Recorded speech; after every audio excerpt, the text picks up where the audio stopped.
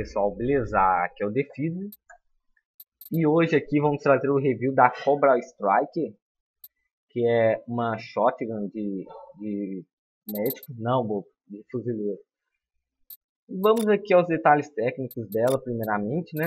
É, arsenal, aqui está ela, como de, como de sempre a arma vai ser o verde, né? Que a gente está comparando Vamos comparar primeiro com a Saiga Bullpup Crawl com certeza vai ser bem gritante a diferença. A gente já vê ali, ó, de 540 da Cobra Strike, a Saga Bullpup tem 660, enquanto tem um alcance 3.5 maior, que é uma diferença gritante. Eu posso assegurar isso para vocês. A cadência da da Cobra Strike é, é 200 e, é, é 155, enquanto a da Saiga Bullpup é, é 210. Então você já pode tirar a conclusão que a Bullpup é bem melhor que a Cobra Striker. Mas também não é uma arma de Crown, é comum que isso aconteça. A precisão se é, da, da Cobra Striker é 2 menor do que a da Tiger Bullpup. E a capacidade do pente da Cobra é 12, enquanto a do, da Saiga Bullpup é 10.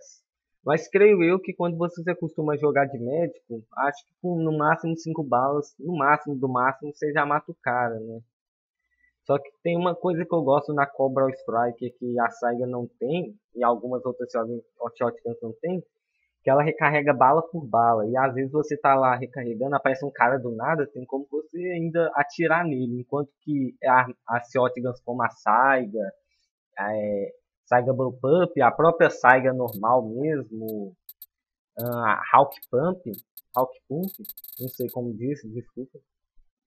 Ela você tem que esperar o, o recarregamento dela todo acabar. Vamos comparar aqui, é, a Saiga, ela é um pouco pior que a Bullpup, então seria inútil comparar com ela. Vou comparar aqui ó, com a VPR. Ó, a VPR tem 4 de dano a mais, tem uma tem um alcance de 1.8 menor, né? Que é enquanto a Cobral tem 4 de alcance, ela tem 3.2, na verdade é 0.8, desculpa. Só que é o seguinte, a VPR ela tem 300 de cadência, uma cadência quase que o dobro da da Cobral Strike. A precisão sem ao mirar da Cobral é bem maior, 68, enquanto a da VPR é 62 a precisão sem mirar é 47, enquanto a da VPR é 36.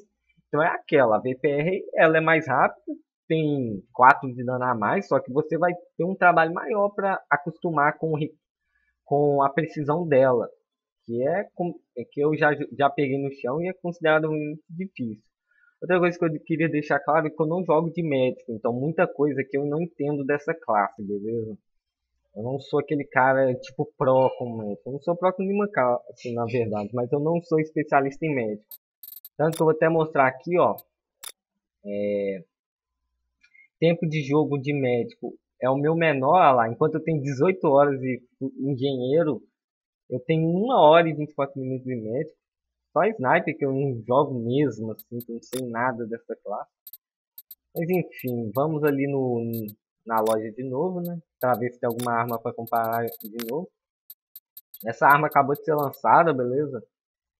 E tem essa MC que o pessoal gosta bastante dela, que parece um 38 gigante. Enfim, o alcance dela é 4, né? Enquanto da MC é, é 3.2. A cadência dela é maior. Enfim, é, eu acho que a Cobra é melhor que a MC 25512, entendeu? É, deixa eu ver se tem mais alguma aqui para olhar, né? Eu vou passando assim, ó. Se vocês quiserem pausar o vídeo para ver aí, com mais calma, beleza?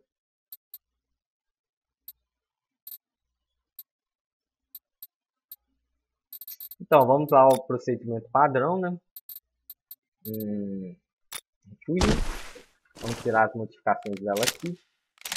Eu posso falar, a classe Shotgun é uma classe que mais vale a pena você usar o silenciador, porque ele realmente ajuda, entendeu? Ele dá muito alcance para para shotgun, né? Dessa linha aqui, ó, vou atirar aqui, vamos ver o, o a precisão dessa arma sem mirar. Ela atira nessa velocidade, beleza? Dá pra ver aqui, ó, os tiros espalham bastante. Vamos ver agora mirando, né? Dessa linha aqui, lá. Lembrando que eu tô atirando o mais rápido possível. Tá vendo que fica bem concentrado nessa distância aqui. Praticamente morte, ó. Olha lá.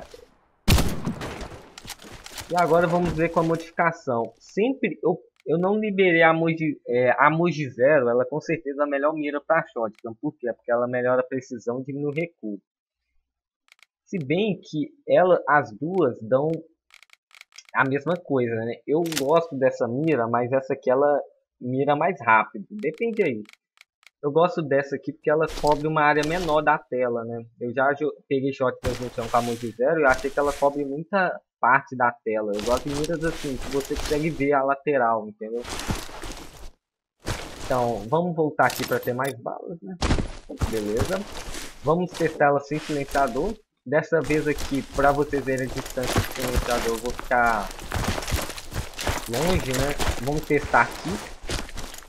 Aqui, dessa caixa. Lá.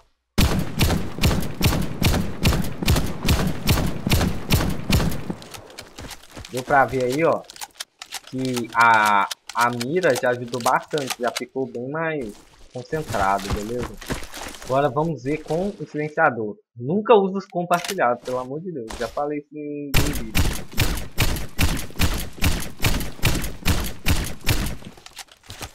Dá pra ver que, olha a diferença. Aqui tava um círculo assim, enquanto que aqui ficou muito mais, como eu posso dizer, concentrado. Mas pra tirar a prova mesmo, tá vendo aquele carinha lá em cima? Vamos ver com quantos tiros a gente mata ele, ó. Sem silenciador. Um, dois, três. Não, foi headshot, então não vale. headshot de 12. Um, dois, dois tiros? Não, não é possível. Deixa eu ver.